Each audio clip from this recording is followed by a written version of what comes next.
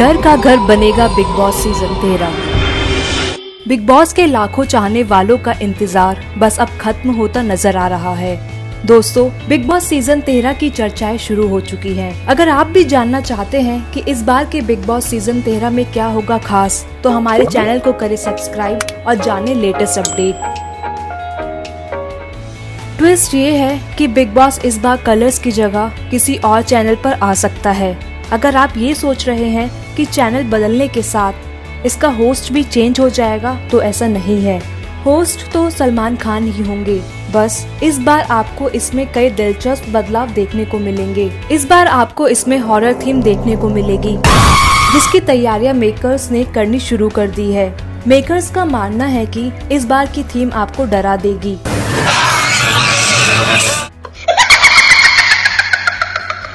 जिससे लोगों में बिग बॉस देखने का उत्साह और बढ़ जाएगा। अब देखना ये होगा कि इस बार का बिग बॉस लोगों को कितना पसंद आता है और कितना डराता है। तब तक के लिए देखते रहें ट्रेंडिंग न्यूज़।